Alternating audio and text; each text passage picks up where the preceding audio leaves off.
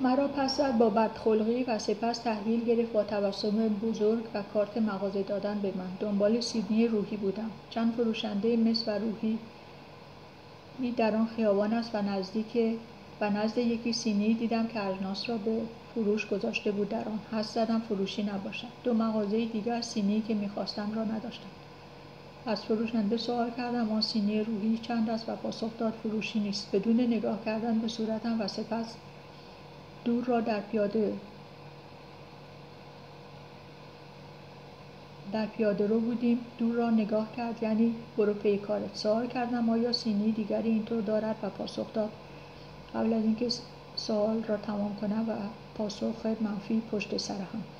نگاهی به دورتر در لبه پیاده رو اجناسی گذاشته بود و قیمت خواستم و گفت 24 یا 20 هزار تومن. سه سینی که روحی نبودن و فلزی بودن دو سینی را برداشتم و گفت اینها استیل قدیم هستند و هر کدام 45 هزار تومان. گفتم باشد. از این رو به آن شد رو شد یک دفعه آن مرد که کمتر از 45 سال داشت. که کمتر از 45 سال نداشت. خب پس امروز هم خداوند آنچه می‌خواستم خواستم را به من داد بلکه استیل و دو برای گذاشتن بر روی یک سوم از اجاق گازم که شعله هایش را مصرف نمی کنم. است که بتوانم کاری که لازم دارم در روی یک سطح صاف و بزرگ انجام دهم اجرا شود. چون قسمتی از کابینت ها برداشته شدن تا یخچال فریزر و ماشین لباسشویی جا بگیرند و سطح کار کم دارم. امروز هم خداوند مرا از خطری رهانید. یک زن جوان که خودش را به دیوانگی می‌زد مرا بل نکرد و شروع شروع پیاده رفتنم به مرکز شهر و ده ده دقیقه ای راه رفته بودم. خارق العاده است که امروز موبایل را داشتم تا ویدیویی با صدای شمس لنگرودی را به پارچه فروش جوان معرفی کنم. همیشه موبایل در خانه است و اگر موبایل نمی داشتم بایستی از مغازهداری که نزدش پناه گرفتم موبایل می گرفتم از این پس مسیر دیگری برای این تکه راه که دامگاه این زن روانی است انتخاب کردم. در بازگشت به خانه از مسیر جدید آن تکه را پیمودم و چی؟ بینظیر میانبری علا دارد. به همان مکان شهرک فرهنگیان که برای بازگشت محوطه آنها را که میانبر و میان و, و میانبرهای بینظیری برای من ایجاد می کند در داخل شهرکمان را مدتی استفاده می کردم از پروردگار تشکر کردم. برای محافظت از من بار دیگر این هفته با خودم گفتم خوب است. هر روز اسپند دود می و تازگی دو بار در روز. مامورهای نیروی انتظامی آمدند و گفتم این زن دیوانه نیست و مسئولین بایستی فکری بکنند. چون تن من میلرزد و این سن من است که به ظاهر من نمی‌خورد. دیرتر رگ سیاتیک که دو بار گرفت و در خانه همینطور. به یاد ندارم رگ سیاتیکم درد گرفته باشد در زندگیم تا به امروز چون پیرهن زیبایی دارم و راه رفتنم آرام است به من حمله کرد و حتی خواستم بروم آن طرف دیگر خیابان از دستش و گفت هر کجا بروم دنبالم خواهد آمد. رفت قایم شد. سپس و فکر کرد با نیروهای انتظامی تماس نگرفتم و وقتی مطمئن شد و در پنجاه سانتی من هم کمتر فاصله با من بود داد در داد زدن که مامورهای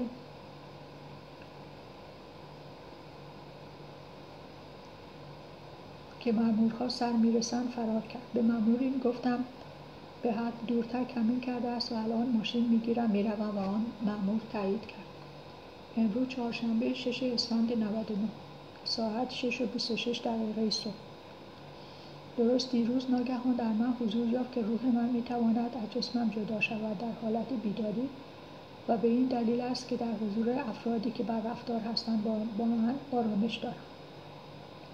قبل از آخرین بار بایستی بوده باشد که این آرامش را در حضور فوق متخصص سرطان در ملاقات هر سه ماه زیستم و در کتابی این تحول در خودم را نوشتم که از آن متعجب هستم. یا همین رفتار خانم لوازم تحریری که تماما دام و تنه زدن بود و من در کمال آرامش در سیری که سیر وجودم گوش داده و پاسخ دادم. حتی آن خانم مزورانه بگوید از صحبت با شما خوشحال شدم ذره اهمیت ندارد و در ثانی بدون پاسخ گذاشتم جمله را. هنوز زدیش زدیت را و دامی که گذارده بود را بدان خوشیار نبودم و چون به او اطلاعات مهمی, مهمی دادند در مورد تربیت بدنی هنگامی که انسان از درد استخوان شب ناله می کند و خاله بزرگم است که ناله می کند و برای خانم گفتم و از طرفی جملاتی از گاندی. دو جمله بیان کردم دیگر جایی باقی نمیگذاشت تا به این خانم پاسخی مثبت بدهم برای جمله اختمامش و پاسخ می توانست این باشد روز خوبی داشته باشید منتها شرارت در وجود بسیاری از مردم ایران را شناسایی کردم و دیگر روز خوبی داشته باشید را به آسانی به زبان هر بار نمی حال می بینم از این جدای روح و جسم مولانا در قسمتی که شروع می شود و بخشی از آن بخشی از نام این چنین است بیان از این جدایی نزد اولیا و انبیا دارد. انقطاع از دنیا به قدر ممکن. و در کنار این کلمات آخر تیتر این قسمت از دفتر سوم مصنوی مولانا با مدار نوشتن به صورت سوال و همزمان تایید مطلب. دو نقطه تماشا نکردن سریال های مورد علاقه شهره و گذر نکردن در فضای مجازی. شاید در این کتاب هم نوشته باشم که به دلیل طوفان شدید هر بار تنظیم ماهوار اختلال پیدا می‌کنم. و اضافه کنم که این بار به دلیل طوفان نبود بلکه مدیر مجتمع پایه دیش منو خم کرده بود تا روی بام پشت بام و اختلال به این دلیل بود. و بایستی توسط نصاب تنظیم مجدد شود و از طرفی دیگر خط ثابت من درست یادم باشد با وقوع تجربه نفسانی هم به کرات قطع می شود و نمی توانم به اینترنت دسترسی داشته باشم.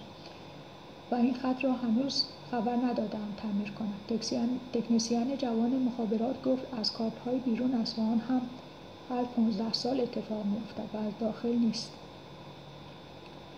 یکی از نشانه های خبر از وقوع تجربه نفسانی هم است و در صفحه نوشتم اینکه در طول یک ماه سه بار خط ثابتم قطع شود و بار سوم با اشتیاق تعمیر را به تعویق بیاندازم و در حالی که در حال نوشتن با کیبورد لپتاپم بودم حضوری در ناحیه پیشانی حس کردم مانند یک گره.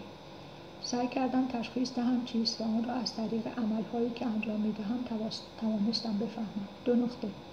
همزمانی دیدن با پیشانی و نوشتن در روی پیشانی آنچه توسط پیشانی می‌دیدم که آن را صحنه نامیدم در کتابهایم. بیت 4251 از دفتر سوم مصنوی معنوی مولانا. پیش خلق ایشان فراز صد کهند گام خود بر چرخ هفتم می نهد.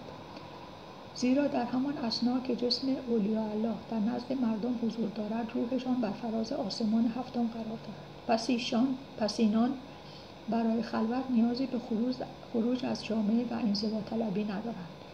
زیرا در عین حضور در انجمن خلوت می‌کنند جمله اول از تفسیر بیت قبلی که بیت اول این قسمت از آن دفتر است را میآورم برای روشنتر شدن ذهن شنونده این کتاب.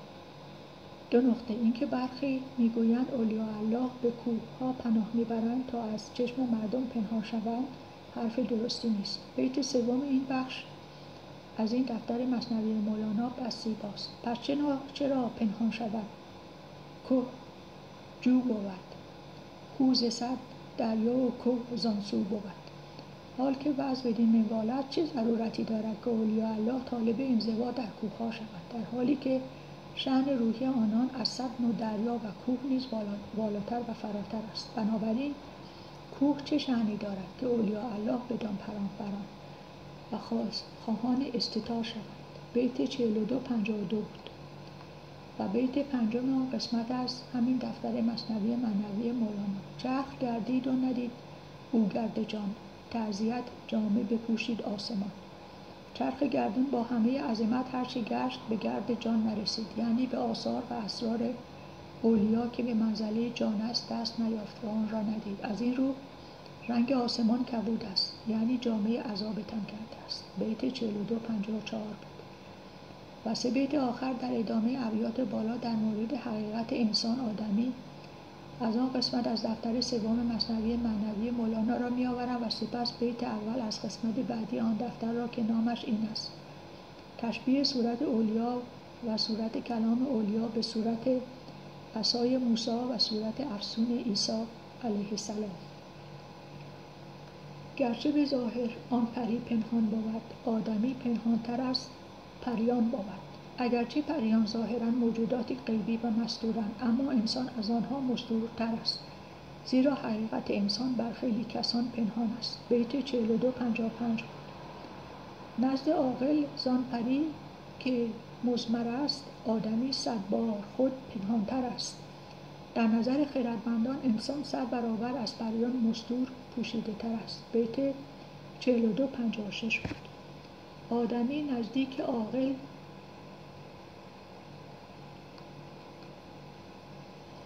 آدمی نزدیک عاقل چون خفی است چون بود آدم که در غیب او صفی در جایی که در نظر خردمندان انسان به طور کلی بر حسب باطن کاملا مستور و پوشیده است پس بگیم که انسان برگزیده که زبده عالم غیب است چگونه باید باشد در مصرع دوم کلمه آدم و صفی ذهن را فورا متوجه حضرت آدم صفی الله می کند. اما منظور مولانا کلی است و شامل هر یک از اولیایی می شود که به قول صوفیه بر قدم حضرت آدم یعنی بر نهج او طریق می کند. ابن عربی در فصل آدمی انسان کامل را روح عالم و مردمک چشم حق دانسته است. رجوع شود به شرح بیت یک دفتر اول. بیت 42 57 بود و بیت اول از فصل بعدی همان دفتر مصنوی مولانا. آدمی چون اسای مسی است. آدمی همچون فسون عیسی است.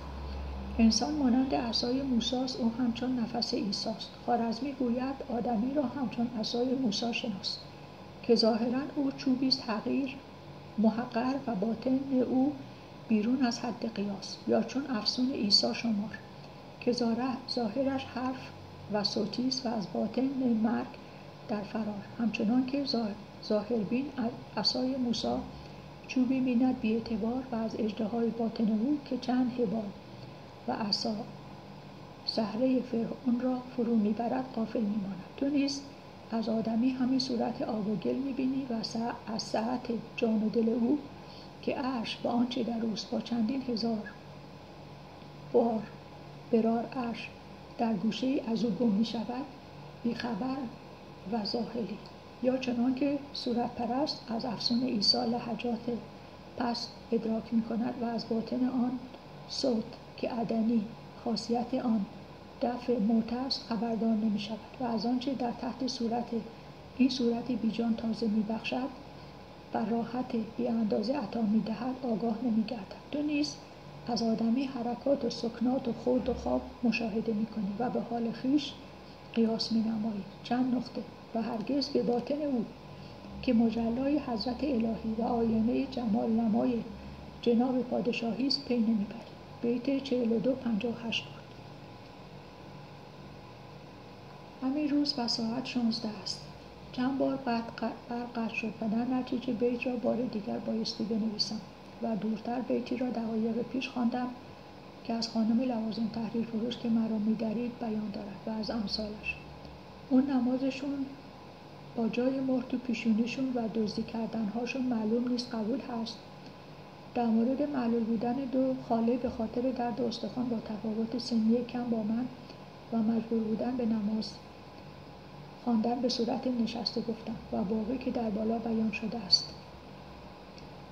بیت سیو نشده توسط بود به دلیل قطع شدن برق این یکیست تو ز می می‌بینی جز که گرد اندکی پیشان ببین در گرد مرد. مثال دیگر تو از مسافتی دور چیزی جز گرد و غبار نمی‌بینی. اینک اندکی جلو بیا تا در میان گرد و غبار انسانی را ببینی. ظاهر اولیا و انبیا و مردان الهی مانند گرد و غبار است.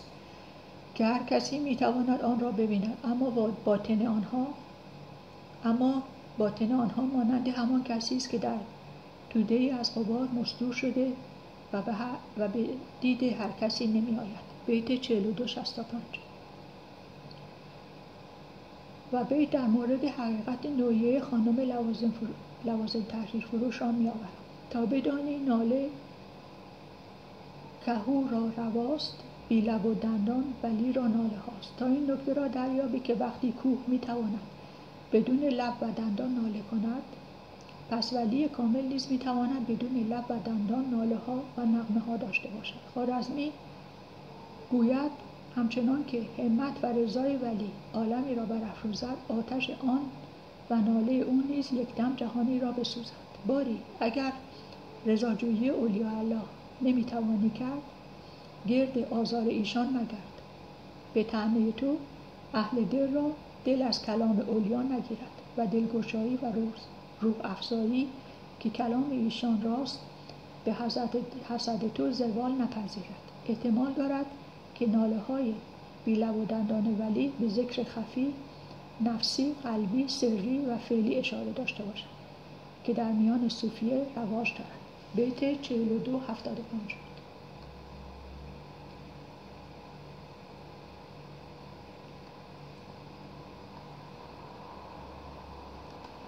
آنقدر سخنهای خارزمی را دوست دارم و این بار عقده بار خانم لوام زن تحریر فروش فرافکنی کرد در روی من پریروز. با خریدم نزد او و نوت یک پایین صفحه در مورد این سخن خارزمی را در این تفسیر شماره گذاری کردم. جواهر الاسرار رفتر سوم صفحه 678 فراموش نکنم فردا از کتاب فروش هم سوال کنم آیا آثار صنایع غزنوی را دارد. دو بار در این دفتر سوم مصنوی معنوی مولانا در مورد آثار صنایی بیان شده است. هر کس سخن صنایی را بفهمد ما را شناخته. خواندم در مصنوی معنوی مولانا.